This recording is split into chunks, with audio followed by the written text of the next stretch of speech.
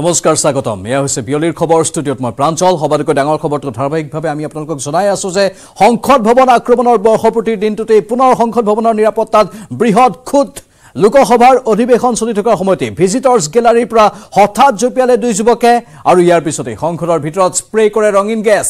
লগে লগে তৎপৰতাৰে সাংসদৰ সহায়ত সদনৰ ভিতৰত জঁপিওৱা দুই যুৱকক আটক কৰে নিৰাপত্তাৰক্ষীয়ে আটক কৰাৰ পিছতে দুই যুৱকে দিছিল শ্লোগান। ধৃত দুই যুৱক সাগৰ শৰ্মা আৰু মনোৰঞ্জন। মহীশূৰৰ সাংসদ প্ৰতাপ সিনহাৰ দৰ্শনাৰ্থী হৈ সাংসদ ভৱনত প্ৰৱেশ কৰিছিল সাগৰ শৰ্মাই আৰু চাৰিটা ধোঁৱাৰ কেনিষ্টাৰ লৈ সোমাইছিল লোকসভাত। আনহাতে ধৃত মনোৰঞ্জন মহীশূৰৰ বিজয়নগৰৰ যুৱক পঁয়ত্ৰিছ বছৰীয়া মনোৰঞ্জন কম্পিউটাৰ বিজ্ঞানৰ স্নাতক। মন্ত্ৰী আৰ কে সিঙে কৰায়ত্ব কৰিছিল সাগৰ শৰ্মাক আৰু সাংসদ বেনিৱালে গবা মাৰি ধৰিছিল যুৱকজনক। তাৰপিছতে আন সাংসদ মন্ত্ৰীয়ে ধৰে দুই যুৱকক। এই ঘটনাত অসমৰ সাংসদ দিলীপ শইকীয়া সামান্যভাৱে আঘাতপ্ৰাপ্ত হয়। আনহাতে সংসদৰ বাহিৰতো নীলম নামৰ এগৰাকী মহিলা আৰু অনমোল নামৰ এজন যুৱকক আটক কৰা হৈছে। নীলমৰ ঘৰ হিছাৰাত আৰু অনমোলৰ ঘৰ লাতুৰত। ঘটনাৰ পিছতে সংসদ ভৱনত দৰ্শনাৰ্থীৰ প্ৰৱেশ নিষিদ্ধ কৰা হৈছে। নিষেধাজ্ঞা জাৰি কৰা হৈছে দৰ্শনাৰ্থী প্ৰৱেশত। সাময়িকভাৱে প্ৰৱেশ পত্ৰ দিয়া বন্ধ কৰা হৈছে। ইফালে সংসদত চৰকাৰৰ জবাবদিহি কৰিছে। বিৰোধীয়ে চৰকাৰক জবাবদিহি কৰা হৈছে। কাৰণ ঘটনাক লৈ উত্তৰ লাগে বিৰোধীক। যদি এনেধৰণৰ নিৰাপত্তা হয় তেতিয়াহ'লে সাংসদৰ নিৰাপত্তা ক'ত থাকিব? জনপ্ৰতিনিধিৰ নিৰাপত্তা ক'ত থাকিব বুলি বিৰোধীয়ে মত পোষণ কৰিছে। আৰু এই ঘটনাক লৈ উত্তৰ বিচাৰিছে বিৰোধী কংগ্ৰেছে। কেন্দ্ৰীয় গৃহমন্ত্ৰী অমিত শ্বাহক জবাবদিহি কৰিছে কংগ্ৰেছে। আৰু এই ঘটনা স্বাভাৱিকতেই এক ভয়ংকৰ ঘটনা হিচাপে বিবেচিত হৈছে। ইতিমধ্যে আমি বৰ্ণনাখিনি আপোনালোকৰ বাবে আগবঢ়াইছোঁ। এই সমগ্ৰ ঘটনা সন্দৰ্ভত বহু তথ্য এতিয়াও সন্মুখলৈ আহিবলৈ বাকী কিন্তু যিখিনি তথ্য আমি লাভ কৰিছোঁ তাৰ আধাৰতে এইখিনি কথা প্ৰকাশ কৰিছোঁ। কেনিষ্টাৰ ইয়া সংসদৰ বাহিৰত কেনিষ্টাৰ হালধীয়া ৰঙৰ কেনিষ্টাৰ এনেধৰণেই তাত জ্বলোৱা হৈছিল আৰু সেই কেনিষ্টাৰৰ ধোঁৱা দেখিছে দুৰ্গন্ধ আছিল তাৰ। সেই কথাও কোৱা হৈছে আনকি সংসদৰ ভিতৰতো সেই কেনিষ্টাৰ খুলি দিয়া হৈছিল। জোতাৰ মাজত সেই কেনিষ্টাৰ লুকুৱাই আনিছিল। কিন্তু তিনি তৰপীয়া নিৰাপত্তা বেষ্টনী থাকে সংসদত প্ৰৱেশ কৰাৰ সময়ত। সেই তিনি তৰপীয়া নিৰাপত্তা বেষ্টনী কেনেধৰণে ফাঁকি দিবলৈ সক্ষম হ'ল এই চাৰিগৰাকীয়ে? তিনিজন যুৱক এগৰাকী যুৱতী কেনেধৰণে ইমানখিনি কৌশলী স্থিতি গ্ৰহণ কৰি প্ৰৱেশ কৰিবলৈ সক্ষম হ'ল? আৰু এই প্ৰশ্নবোৰ এতিয়া উত্থাপন হৈছে। যিহেতু ভাৰতৰ সংসদ পবিত্ৰ সংসদ সেই পবিত্ৰ সংসদৰ ইতিহাস আপোনালোকে জানে। এটা সময়ত কেনেধৰণে আক্ৰমণৰ ঘটনা সংঘটিত হৈছিল? পাঁচজনীয়া আততায়ীয়ে আক্ৰমণ কৰিছিল দুহেজাৰ এক চনত। তেতিয়া দিল্লী আৰক্ষীৰ নিৰাপত্তাৰক্ষীসহ সংসদ ভৱনৰ নিৰাপত্তাৰক্ষী মুঠ নজনৰ মৃত্যু হৈছিল। সেই দুহেজাৰ এক চনৰ ঘটনা ভয়াৱহতা এতিয়াও মাৰ যোৱা নাই। বাইছ বছৰ হৈ গ'ল আৰু সেই দিনটো আজিৰ দিনটোতেই সেই ঘটনা দুহেজাৰ এক চনত সংঘটিত হৈছিল। আৰু বাইছ বছৰ বাইছ বছৰ সম্পূৰ্ণ হোৱাৰ পাছত আজি যি ভয়ংকৰ আক্ৰমণৰ ঘটনা সংঘটিত হ'ল সেই আক্ৰমণৰ পাছত স্বাভাৱিকতে আতংকৰ সৃষ্টি হৈছে। অন কেমেৰা লোকসভাৰ ভিতৰতে অপৰাধীয়ে দৌৰা ধপৰা কৰিলে। শীতকালীন অধিৱেশনৰ শূন্য ঘণ্টাৰ লাইভ সম্প্ৰচাৰৰ মাজতে দৰ্শকৰ গেলাৰীৰ পৰা সংসদৰ আসনলৈ জঁপিয়ালে দুই যুৱকে। শ্লোগান আওৰাই দুই যুৱকে লোকসভাত স্প্ৰে কৰি দিলে। দুৰ্গন্ধযুক্ত ৰঙীন গেছ একেলগে সংসদৰ বাহিৰতো আন দুজনে সেই কাম কৰিলে। সংসদৰ বাহিৰত হালধীয়া আৰু বগা ৰঙৰ গেছ তেওঁলোকে উলিয়ালে সেই কেনিষ্টাৰৰ পৰা। আৰু সেই জোতাযোৰ আমি দেখুৱাইছোঁ। যি জোতাৰ ভিতৰত সেই কেনিষ্টাৰ লুকুৱাই অনা হৈছিল সেই জোতাযোৰো আমি দেখুৱাইছোঁ। এই জোতাযোৰৰ ভিতৰতে কেনিষ্টাৰ লুকুৱাই অনা হৈছিল। আৰু সেই কেনিষ্টাৰেই সংসদৰ বাহিৰ আৰু ভিতৰত মুকলি কৰি দিলে সেই চাৰিগৰাকী যুৱক আৰু যুৱতীয়ে। তিনিজন যুৱক এগৰাকী যুৱতী আছে তেওঁলোকৰ মাজত। তেওঁলোকে শ্লোগানো আওৰালে সেই কেনিষ্টাৰ মুকলি কৰি দি। হালধীয়া গেছেৰে সংসদ ভৱন চানি ধৰাৰ সময়তেই একাংশ সাংসদে কৰায়ত্ব কৰিলে দুই যুৱকক। সেয়া ভিতৰৰ খবৰ। আনফালে ট্ৰান্সপৰ্ট ভৱনৰ কাষতো শ্লোগান আওৰাই আন এজন যুৱক আৰু এগৰাকী যুৱতীয়ে ৰঙীন কেনিষ্টাৰ খুলি দিয়ে। আৰু সেই দৃশ্যবোৰো আমি আপোনালোকক ধাৰাবাহিকভাৱে দেখুৱাই আছোঁ। এয়া সহজ ঘটনা নহয় আৰু ইয়াক অতি শীঘ্ৰে উচ্চ পৰ্যায়ৰ তদন্তৰ আওতাত আনিব লাগে বুলি দাবী উত্থাপন কৰা হৈছে য'ত তিনি তৰপীয়া নিৰাপত্তা বেষ্টনী থাকে তাত জোতাৰ ভিতৰত কেনেধৰণে কেনিষ্টাৰ লুকুৱাই আনিবলৈ সক্ষম হ'ল। তালাচীত স্বাভাৱিকতেই খুটি নাতি ধৰা পৰিছে এতিয়া। তাত নিৰাপত্তাৰক্ষী যিসকল নিয়োজিত হৈ থাকে তেওঁলোকৰ এতিয়া ভূমিকাৰ ওপৰতো প্ৰশ্ন উত্থাপন হৈছে। ঠিক অনুৰূপ ঘটনা দুহেজাৰ এক চনৰ তেৰ ডিচেম্বৰতো সংঘটিত হৈছিল য'ত পাঁচজনীয়া আততায়ীয়ে প্ৰৱেশ কৰিছিল সংসদ ভৱনত আৰু এফালৰ পৰা ধাৰাসাৰ গুলীবৰ্ষণ কৰিছিল। সেই ভয়ানক বিভীষিকাময় অৱস্থাৰ কথা এতিয়াও পাহৰিব পৰা নাই আৰু ঠিক বাইছ বছৰ বৰ্ষপতি সময়তেই সেই ঘটনাৰ আজি আন এক ভয়ংকৰ ঘটনা সংঘটিত হৈ গ'ল। বহুকেইটা ভাষ্য আছে আমি শুনাব বিচাৰিছোঁ। Joined by BJP MP Rajendra Agrawal ji, who in fact was in the chair when this incident happened. Uh, Agrawal ji, क्या देखा आपने क्या हुआ एक लड़का नीचे हाउस के अंदर आया। मुझको लगा वो गिर गया है तो होटल से ही। लेकिन तभी एक जगह दूसरा जो लड़का है वो उतर रहा था बैनिंग पकड़ करके। तो लगा कि ये ये भी शायद ये ढंग से उतरा होगा। इन द मीन टाइम सभी सांसद भी सक्रिय हो गए थे क्योंकि तो वहाँ से कूदने का कोई अर्थ नहीं होता है। तो जो सुरक्षाकर्मी थे वो भी हो गए थे। मैंने तो तत्काल पहले तो हाउस ही एजेंट किया। और उसके बाद जो है वो एक जो उसमें लड़का था जो पहले कूदा होगा उसने अपना जूता खोल रहा था। जूते में से शायद उसने वो एक ऐसी चीज़ निकाली जिसको इस्तेमाल करके वो धुआँ उसने फैलाया। लेकिन सारे आधा मिनट या एक मिनट के अंदर ही ये सारा घटनाक्रम ये घट गया और वो दोनों को सुरक्षा कर्मियों ने सांसदों ने भी पूरा सहयोग किया। उनको कब्जे में ले लिया था। और उनसे पूछताछ वगैरह होगी।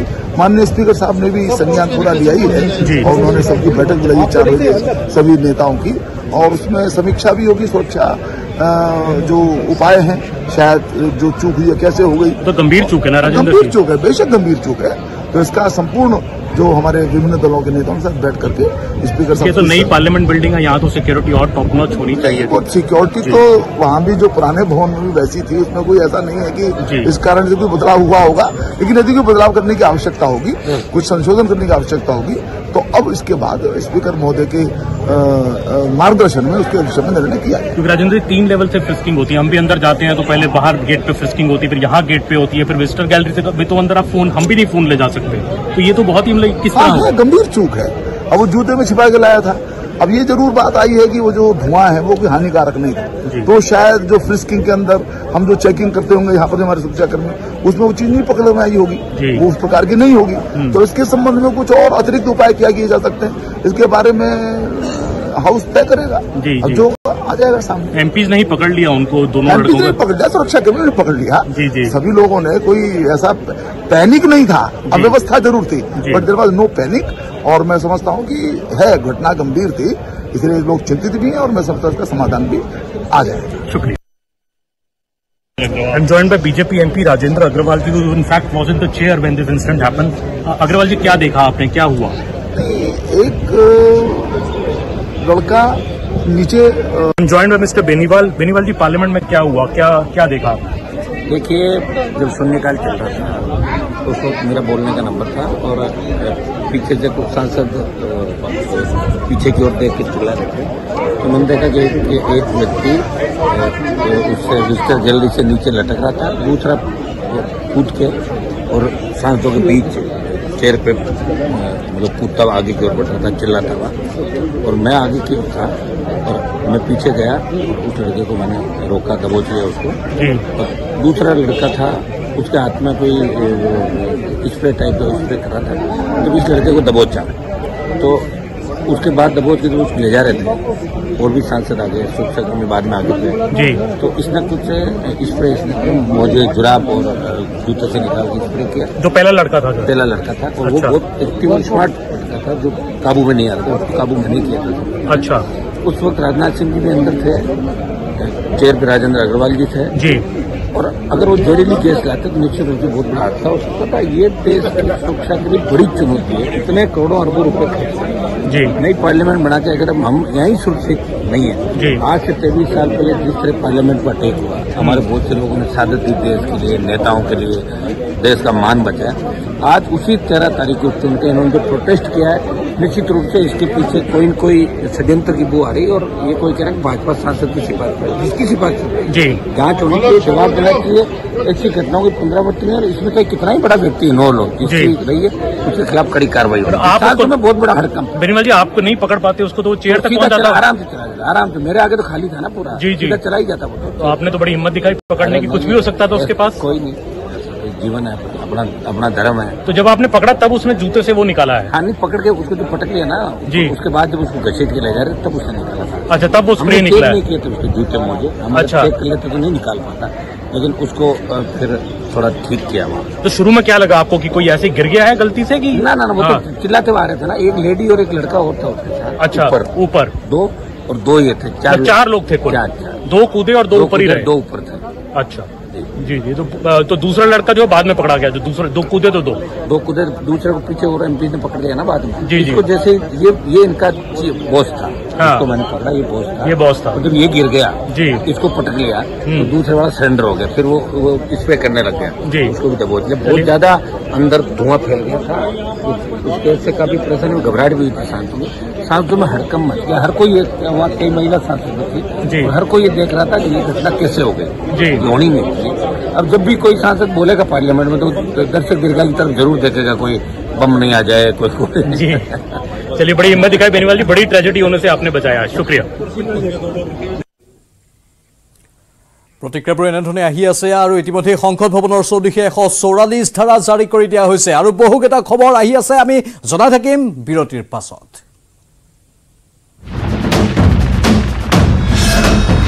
ভাৰতৰ গৌৰৱ গোটেই বিশ্বতেই ইয়াৰ সন্মান ষ্ট্ৰং মানে মাইথান ষ্টীল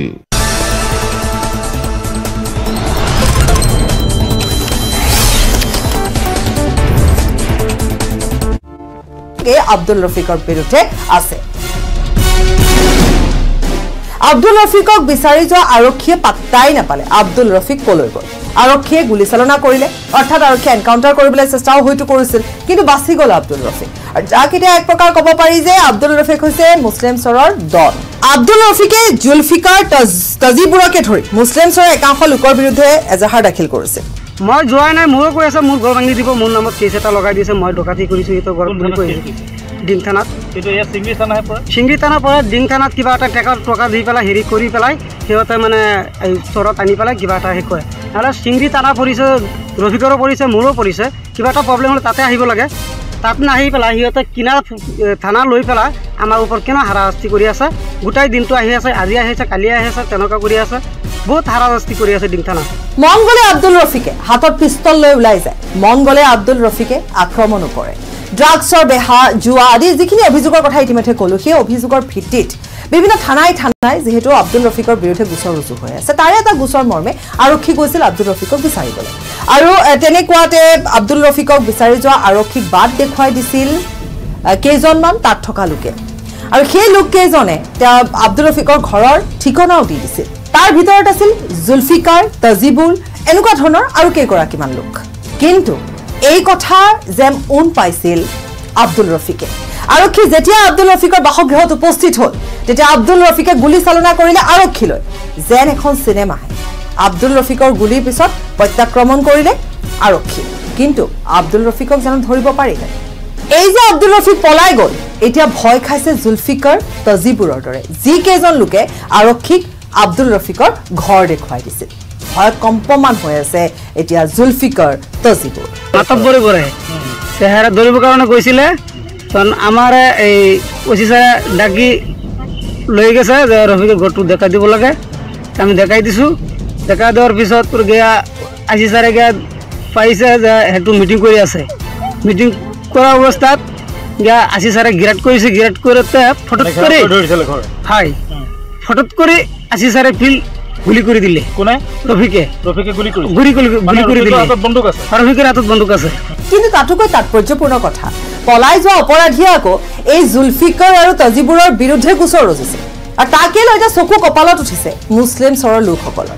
কিন্তু যিয়ে নহওক আব্দুল ৰফিক বৰ্তমান পলাতক অৱস্থাত আছে। জুলফুকাৰ তুজুবোৰ এইবিলাকৰ ঘৰ ভাঙি দিব। মই যোৱাই নাই মোৰো কৈ আছে মোৰ ঘৰ ভাঙি দিব। মোৰ নামত কেছ এটা লগাই দিছে মই ডকাতি কৰিছোঁ সিহঁতৰ ঘৰত বুলি কৈ আছে। ডিং থানাত। কিন্তু ইয়াত চিংগি থানাহে পৰে? চিংগি থানাৰ পৰা ডিং থানাত কিবা এটা টেকা টকা দি পেলাই হেৰি কৰি পেলাই সিহঁতে মানে এই চৰত আনি পেলাই কিবা এটা হেৰি কৰে। নহ'লে চিংগি থানা পৰিছে ৰফিকৰো পৰিছে মোৰো পৰিছে। কিবা এটা প্ৰব্লেম হ'লে তাতে আহিব লাগে। তাত নাহি পেলাই সিহঁতে কিনাৰ এ, থানা লৈ পেলাই আমাৰ ওপৰত কিমান হাৰাশাস্তি কৰি আছে। গোটেই দিনটো আহি আছে আজি আহি আছে কালি আহি আছে তেনেকুৱা কৰি আছে। বহুত হাৰাশাস্তি কৰি আছে ডিং থানা। ৰাইজে তাত থকা চৰ অঞ্চলৰ যিসকল লোক আছে তেওঁলোকে এতিয়া ভয় খাইছে। কাৰণ আব্দুল ৰফিকৰ হাতত উদ্যত পিষ্টল থাকে। গতিকে পৰৱৰ্তী সময়ত আব্দুল ৰফিকে এই যিকেইজন লোকে আব্দুল ৰফিকৰ বিৰুদ্ধে বা বাট দেখুৱাই দিছিলে তেওঁলোকক আক্ৰমণ কৰে নেকি তাক লৈ এতিয়া এক প্ৰকাৰ তাক চেপা উত্তেজনাই বিৰাজ কৰিছে। এতিয়া কথা হৈছে পলাই অহা আব্দুল ৰফিকক আৰক্ষীয়ে জানো কৰায়ত্ব কৰিব পাৰিব নে বতাহৰ লগতে মিলি থাকিব আব্দুল ৰফিক।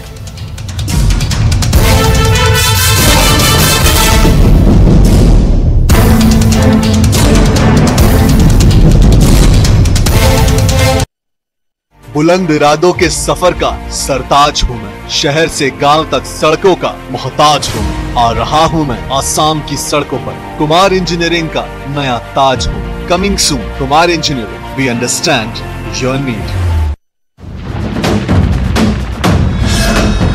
ভাৰতৰ গৌৰৱ গোটেই বিশ্বতেই ইয়াৰ সন্মান ষ্ট্ৰং মানে মাইথান আমার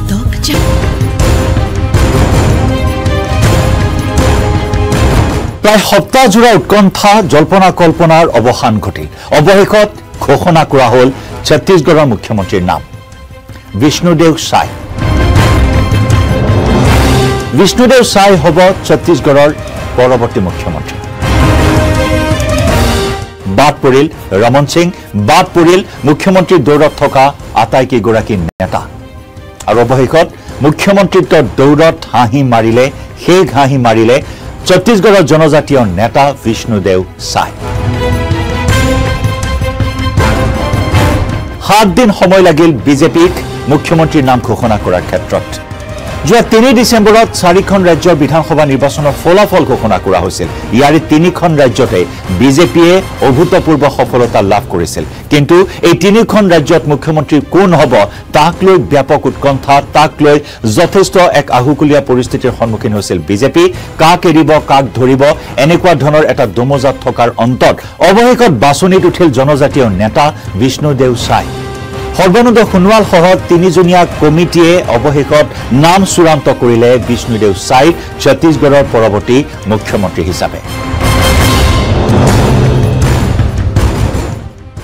ছত্তীশগড় ৰাজস্থান মধ্যপ্ৰদেশ। এই তিনিও ৰাজ্যৰ মুখ্যমন্ত্ৰীৰ নাম চূড়ান্ত কৰাৰ ক্ষেত্ৰত দেশৰ সৰ্ববৃহৎ দল বিজেপিক সময় লাগিল সাত দিনৰ। তাকো এতিয়াও মধ্যপ্ৰদেশ আৰু ৰাজস্থানৰ মুখ্যমন্ত্ৰীৰ পদ চূড়ান্ত কৰিব পৰা নাই। কাক অধিষ্ঠিত কৰিব মুখ্যমন্ত্ৰী পদত নাম এতিয়াও চূড়ান্ত কৰিব পৰা নাই সৰ্ববৃহৎ দলটোৱে।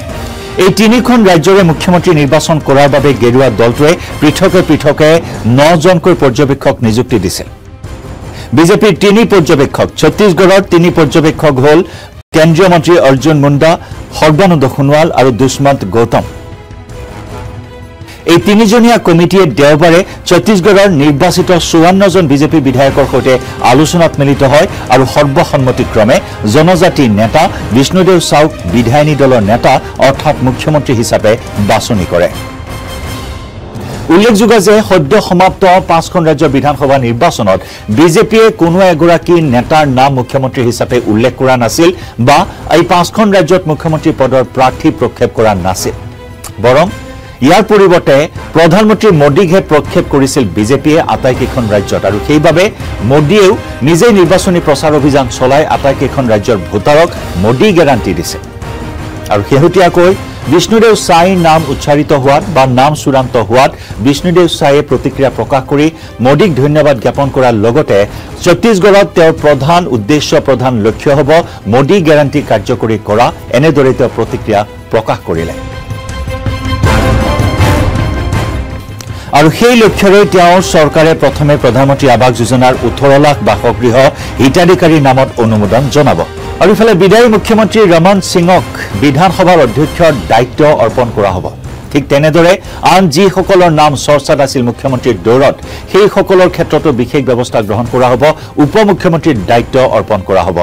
আৰু সেইমৰ্মে ৰাজ্যৰ আন দুজন শক্তিশালী নেতা তথা সম্ভাৱ্য মুখ্যমন্ত্ৰীৰূপে নাম উচ্চাৰিত হোৱা অৰুণ চাও আৰু বিজয় শৰ্মাক উপ মুখ্যমন্ত্ৰীৰ দায়িত্ব প্ৰদান কৰা হ'ব।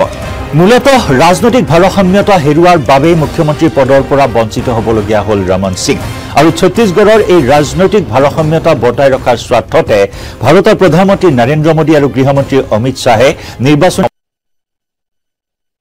बुलंद इरादों के सफर का सरताज हूँ मैं शहर से गांव तक सड़कों का मोहताज हूँ मैं आ रहा हूँ मैं आसाम की सड़कों पर कुमार इंजीनियरिंग का नया ताज हूँ coming soon Kumar engineering we understand your need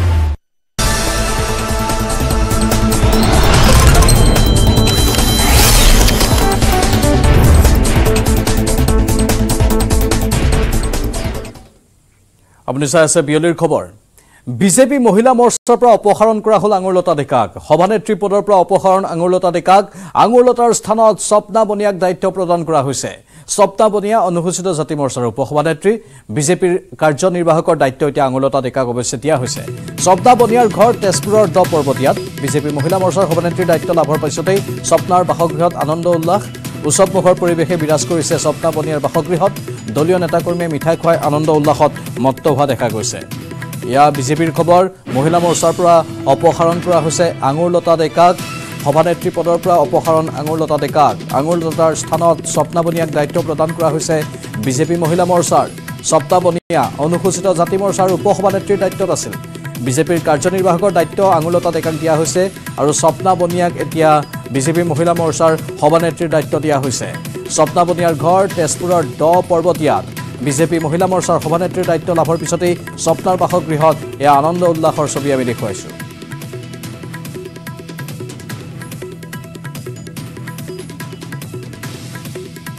এক গুৰু দায়িত্ব। দলে মোক আমাৰ অসম প্ৰদেশ ভাৰতীয় জনতা পাৰ্টীৰ সভাপতি মহোদয় প্ৰমুখ্যে আমাৰ মুখ্যমন্ত্ৰী ডাঙৰীয়া ডক্টৰ হিমন্ত বিশ্ব শৰ্মা ডাঙৰীয়া তেওঁলোকে মোক এটা ইমান মানে গুৰু দায়িত্ব প্ৰদান কৰিছে। মই চেষ্টা কৰিম এটা নতুন পৰ্যায়লৈ নতুন মাত্ৰা দিবৰ কাৰণে। আৰু সকলোৰে মোৰ সহায় সহযোগিতা লাগিব সমগ্ৰ অসমৰ মহিলাসকলৰ আৰু আপোনালোকৰো সহায় সহযোগিতা লাগিব। সেইখিনি সহায় লৈ পেলাই শিৰোগত কৰি মই আগবাঢ়ি যাম। আমাৰ জ্যেষ্ঠ সাংবাদিক বিজু কুমাৰ ডেকা আছে বৰ্তমান নিউজৰুমৰ পৰা লাইভত যিহেতু আঙুলতাৰ স্থানত স্বপ্না বনিয়াক বিজেপি মহিলা মৰ্চাৰ দায়িত্ব দিয়া হৈছে। বিজু কুমাৰ ডেকা এই সমগ্ৰ বিষয়টো কেনেদৰে ল'ব পাৰি? কাৰণ আমি জানো বিজেপিত সকলোৱে সম্ভৱ বিজেপিত আচৰিত হ'বলগীয়া একো নাথাকে। শেহতীয়াকৈ তিনি ৰাজ্যৰ মুখ্যমন্ত্ৰীৰ নিৰ্বাচন প্ৰক্ৰিয়াটো আমি দেখিবলৈ পালোঁ। এক ছাছপেঞ্চ থাকে বিজেপিত সদায়। হয় লোকসভা নিৰ্বাচনৰ পূৰ্বে যি পাঁচখন ৰাজ্যৰ ৰাজ্যৰ বিধানসভা নিৰ্বাচন অনুষ্ঠিত হ'ল। তাৰে তিনিখনত আচলতে বিজেপিয়ে নতুন মুখৰ আহ, নেতাক আচলতে মুখ্যমন্ত্ৰী পাতিলে। আৰু সেই পাছত এতিয়া শেহতীয়াকৈ দেখা গৈছে যে অসমত ৰাজ্যিক বিজেপি মহিলা মৰ্চাৰ সভাপ সভানেত্ৰী আঙুৰলতা ডেকাক ডেকাৰ স্থানত মাজত মাত্ৰ দুটা মাহ বাকী আছে। এনে সন্ধিক্ষণত আঙুৰলতা ডেকাৰ স্থানত মহিলা মৰ্চাৰ পদটোত সভানেত্ৰী পদত এগৰাকী নতুন নেত্ৰীক দায়িত্ব অৰ্পণ কৰা হৈছে। স্বপ্না বনিয়া অনুসূচিত জাতি মৰ্চাৰ তেওঁ উপ সভানেত্ৰী আছিল আৰু তেওঁক দায়িত্ব অৰ্পণ কৰাৰ পাছত আচলতে এই বিষয়টো আচলতে যোৱা ডেৰ দুমাহৰ ধৰি চৰ্চা চলি আছিল যে আঙুৰলতা ডেকাই নিৰৱতা অৱলম্বন কৰিছিল দলীয় কাম কাজৰ পৰা আঁতৰত আছিল আৰু বিষয়টো চৰ্চা আছিল আৰু আনুষ্ঠানিকভাৱে আজি দলৰ তৰফৰ পৰা স্পষ্ট কৰা হ'ল যে আঙুৰলতাৰ স্থান- ডেকাৰ স্থানত স্বপ্না বনিয়াক দিয়া হ'ল। কিন্তু শেহতীয়াকৈ যিখিনি খবৰ আহিছে সেই খবৰ আন এটা বেলেগ খবৰহে আমাৰ হাতত শেহতীয়াকৈ আহিছে। সেই তথ্য অনুসৰি গুৱাহাটী লোকসভা সমষ্টি প্ৰাৰ্থী হ'ব পাৰে বুলি পেলাই এক খবৰ আহিছে। সেয়া হ'ল আগুণতা ডেকা। দুহেজাৰ চৌবিছৰ লোকসভা বিধান লোকসভা নিৰ্বাচন গুৱাহাটীৰ প্ৰাৰ্থী হ'ব আৰু গুৱাহাটীৰ প্ৰাৰ্থী হিচাপে প্ৰতিদ্বন্দ্বিতা কৰাৰ পূৰ্বে তেওঁক আচলতে ইতিমধ্যে দলীয় যি বিষয়বাব আছিল সেই দলীয় বিষয়বাবৰ পৰা অব্যাহতি লৈছে আৰু সেই হিচাপতে আচলতে বিজেপিৰ ৰাজ্যিক যিগৰাকী তেওঁ আচলতে সভানেত্ৰী আছিল তেওঁ মহিলা মৰ্চা সেই পদটো ত্যাগ কৰিছে। দলৰ সংবিধান অনুসৰি এই পদত থাকিলে তেওঁ কোনো নিৰ্বাচনত প্ৰতিদ্বন্দ্বিতা কৰিব নোৱাৰে। সেই হেতুকেই দলৰ ভিতৰত অনুসৰি তেওঁ এই স্বাভাৱিকতে এইটো বৰ গুৰুত্বপূৰ্ণ প্ৰসংগ আহিছে বা এটা নতুন এংগল আহিছে। কিন্তু ইমান আগতীয়াকৈ জানো তেওঁক আঁতৰোৱা হ'ব লোকসভা নিৰ্বাচনৰ বাবে এতিয়াও কিছু মাহ আছে দুই তিনি মাহ বুলি ধৰি লৈছোঁ আমি। মাৰ্চত যদি আমি ধৰোঁ তেনেহ'লেও প্ৰায় দুমাহ আছেই মাজত। ইমান আগতীয়াকৈ জানো হ'ব প্ৰক্ৰিয়াটো। ডেফিনেটলি তেওঁক কিছু সময়ৰ প্ৰয়োজন হ'ব। তেওঁ ছ'চিয়েল মিডিয়াত এটা পষ্ট দিছে কিছু মুহূৰ্তৰ আগতে তেওঁ উল্লেখ কৰিছে। এই বিষয়টো তেওঁ উল্লেখ কৰা নাই তেওঁৰ ব্যক্তিগত কাৰণত আৰু তেওঁৰ একমাত্ৰ কণমানিজনী জীয়ৰীৰ স্কুলীয়া জীৱন আৰম্ভ হৈছে। মাতৃ হিচাপে তেওঁক সময়ৰ প্ৰয়োজন আছে আৰু স্কুলীয়া জীৱন আৰম্ভ কৰাৰ সময়তে আহ, কন্যাৰ সময় দিয়াৰ বাবে দলীয় নেতৃত্বক তেওঁ অৱগত কৰিছিল আৰু সেই হিচাপতে দলীয় নেতৃত্ব ৰাজ্যিক সভাপতি ভূপে- ভৱেশ কলিতা আৰু মুখ্যমন্ত্ৰী ডক্টৰ হিমন্ত বিশ্ব শৰ্মাক তেওঁ ধন্যবাদ জ্ঞাপন কৰিছে আৰু তেওঁ এইখিনি সময়ত তেওঁ কন্যাৰ বাবে দিব বুলি উল্লেখ কৰিছে আৰু তেওঁ কিন্তু দলৰ সৈতে আছিল আছে আৰু ভৱিষ্যতেও থাকিব বুলি তেওঁ এই সামাজিক মাধ্যমত দিয়া প- পষ্টটোত তেওঁ স্পষ্ট কৰিছে। কিন্তু দলীয় যি তথ্য বা সূত্ৰৰ পৰা আমি জানিব পাৰিছোঁ যে তেওঁ আচলতে লোকসভা নিৰ্বাচনত প্ৰতিদ্বন্দ্বিতা কৰাৰ বাবে টাঙলি মেলিছে আৰু তাৰ বাবেই দলৰ পদবীৰ পৰা ৰাজ্যিক মহিলা মৰ্চাৰ সভানেত্ৰী পদটোৰ পৰা অব্যাহতি লৈছে আৰু লোকসভা নিৰ্বাচনৰ বাবে তেওঁ সাজু হৈছে। নিশ্চয়। ধন্যবাদ বিজু কুমাৰ ডেকা এইখিনি তথ্যৰ বাবে। আৰু লোকসভা নিৰ্বাচনলৈ এক প্ৰকাৰ সাজু হোৱা বুলি এটা সূত্ৰই দাবী কৰিছে। কিন্তু পৰৱৰ্তী সময়ত সকলো ছবি স্পষ্ট হ'ব। আচলতে কি ইয়াৰ আঁৰত কাৰণ থাকিব পাৰে বা বিজেপি এইটো সাধাৰণতে প্ৰায় এনেধৰণৰ কিছু কাৰ্যপন্থা লৈ থাকে সময়ক্ৰমে তেওঁলোকৰ দলীয় বাটবোৰ তেওঁলোকে সলাই থাকে। সেইটোও হ'ব পাৰে অথবা লোকসভা নিৰ্বাচনৰ প্ৰসংগটোতো আছে। আমি পৰৱৰ্তী সময়তো লক্ষ্য ৰাখিম।